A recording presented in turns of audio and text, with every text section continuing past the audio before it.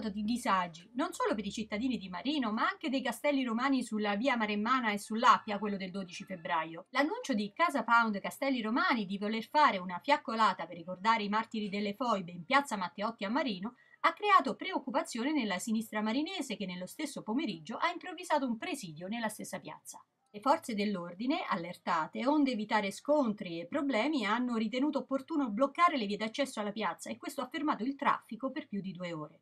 In un clima surreale, in una Marino assediata, i cittadini hanno assistito a due presidi che poco hanno capito. Da una parte i ragazzi di Casa Pound, in silenzio con le fiaccole accese, dall'altra i ragazzi della sinistra marinese che gridavano slogan e incitavano la cittadinanza a dire no al fascismo mezzo gli uomini del commissariato di polizia e i carabinieri di Marino, che in maniera responsabile ed esemplare hanno gestito la situazione, anche cercando un dialogo con le opposte fazioni per limitare lo scontro a slogan e sfottò. A dire il vero, nessuno dei presenti, né da una parte né dall'altra, aveva intenzioni bellicose, e si trattava per la maggior parte di ragazzi giovanissimi, ma la prudenza, si sa, non è mai troppa.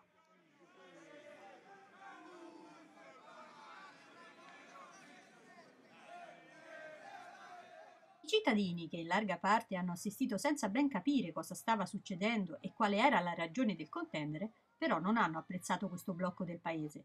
Alcuni negozi hanno chiuso, altri hanno abbassato le serrande per paura. I pendolari sui bus del Cotral imprecavano, fermi in fila, così come molti automobilisti. Alle 19 i ragazzi di Casa Pound hanno sciolto il presidio e subito dopo hanno fatto lo stesso i ragazzi di sinistra. Il paese ha tirato un sospiro di sollievo dopo due ore di freddo e di tensione.